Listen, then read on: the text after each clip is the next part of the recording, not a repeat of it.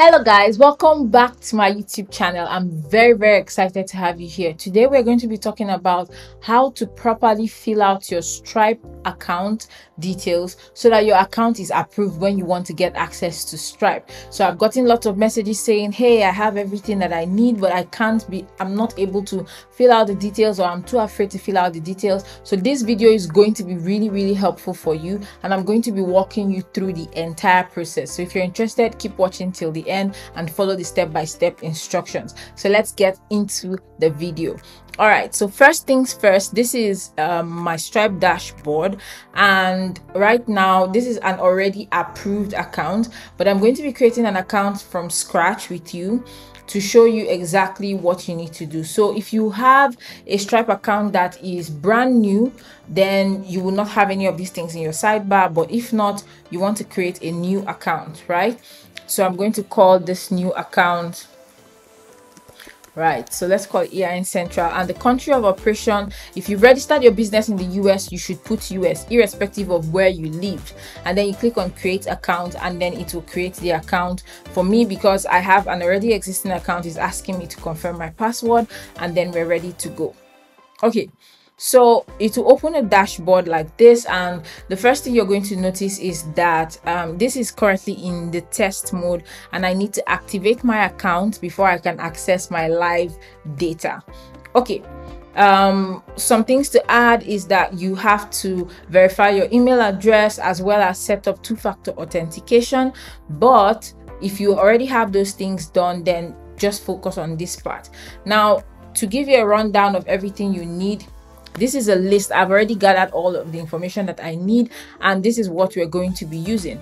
Number one you need your business account details. So you need your business address and everything that is relating to your business as you registered it with your um, in your preferred your state of registration. Now if you if you when if when you were registering your business you use the po box it will most likely not work. And a better way of doing it is to reach out to your registered agent and ask them to give you a virtual office. Sometimes when you use a po box with stripe they will reject it. And in case you are rejected then what you want to do is to get a virtual office. Now this is a bit pricey. It comes around 50 dollars per month but it is the only way that your stripe account will be approved.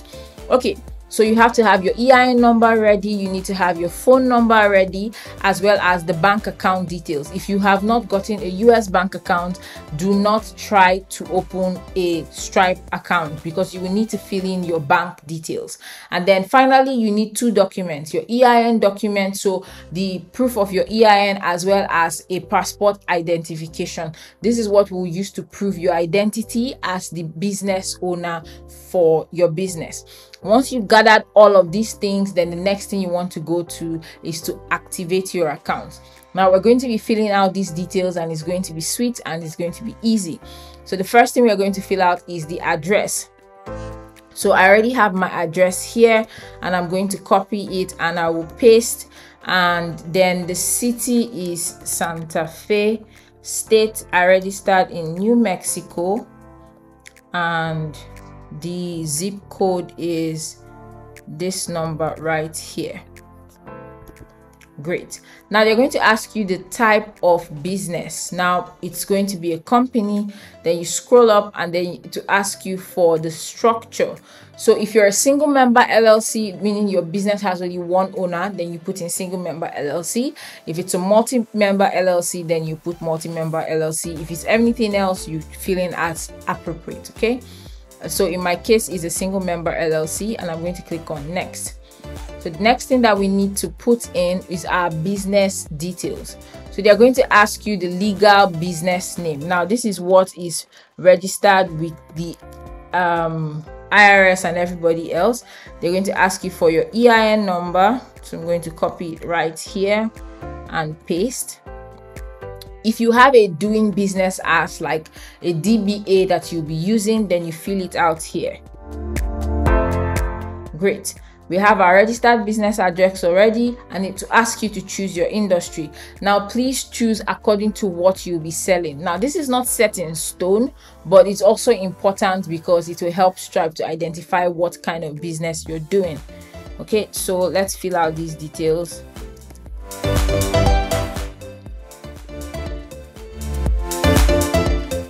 now it's uh, stripe is going to ask you to describe the kind of product or service that you offer.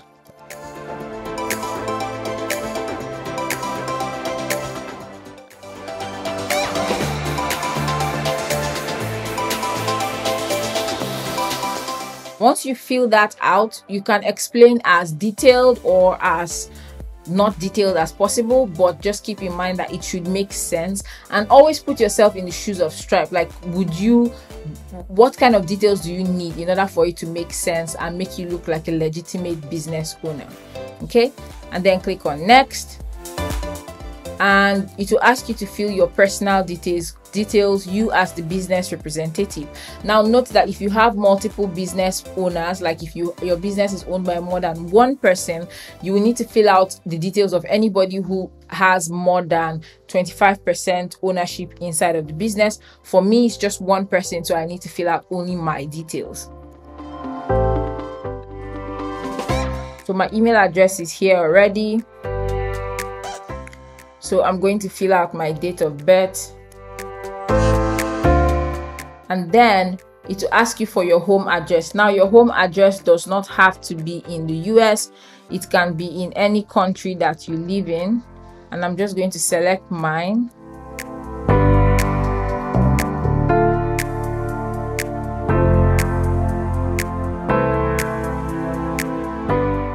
Once you fill out those details it's going to ask you for a phone number.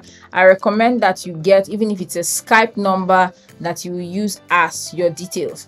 Now the next thing is going to ask you is a social security number. Now as a non-us resident you don't have a social security number.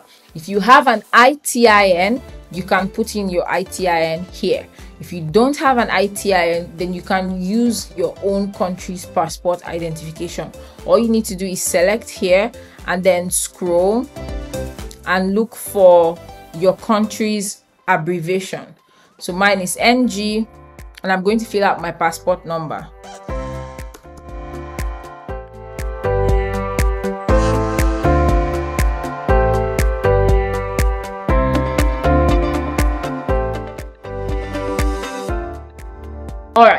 Once you're done filling out the details all you need to do is click on next and then you'll be able to put in your fulfillment details. Now they're going to ask you how long after paying will your customers receive the services and then you can decide mine is within two weeks. I'm going to click on next and then it's going to ask you for a credit card statement. So how will it look like on your credit card? So I'm going to put in this put in this as my customer support number and then I'll leave my customer support address as the same. Then I'm going to click on next. It's going to ask me for bank details. I'm going to scroll down and put in manually because I don't have any of these banks listed out here. So get the routing number then the account number then confirm the account number and then click next. So usually here is where they will ask you to um, do your two-factor authentication as well if you haven't already. For me i have. I used Authy to do my authentication and then it will ask you to go over the details one more time. You see i already have two-step authentication enabled and then i'm going to click on done So once you do this, it's going to reload the dashboard and you see that it says immediately that I should get my API keys. Now, something to note is that if you do run into a problem where let's say your tax details are not confirmed. So mine are already verified. If yours is not verified you get a notification and then you can come here and you can fill out whatever information they give you. Now should you run into any issues you might be needed you might need to copy it exactly as it is on your EIN document and paste here.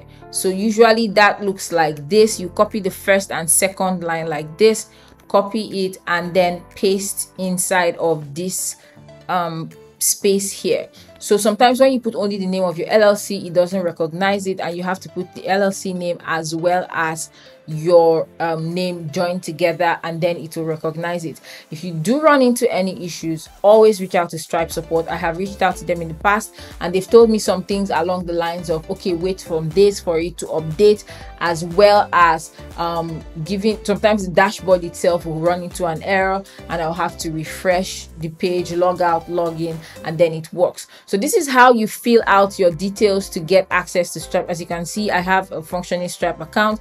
I can get my live keys and um, um, secret keys and use this to process payments immediately. Everything is working smoothly.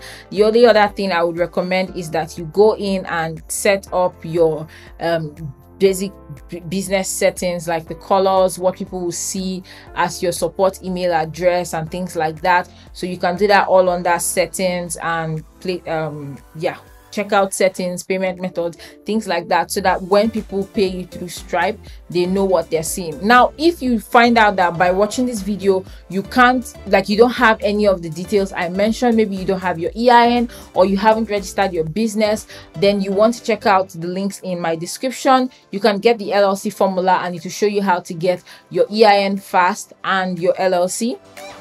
But if you already have your LLC and you want your EIN and maybe you've heard that the IRS is taking quite a while to get back to people, then you want to check out the description as well. We have a standalone EIN service and you can get your EIN done for you in two weeks or less. So that's it for this video. I hope you guys enjoyed it. If you want to check out anything pertaining to Stripe, you want to check out my other videos, I'm going to link them on this page and you'll be able to check out the entire playlist. So make sure to share it with a friend and leave a comment for me in the comment section and tell me if this worked for you. I can't wait to see you guys in the next video.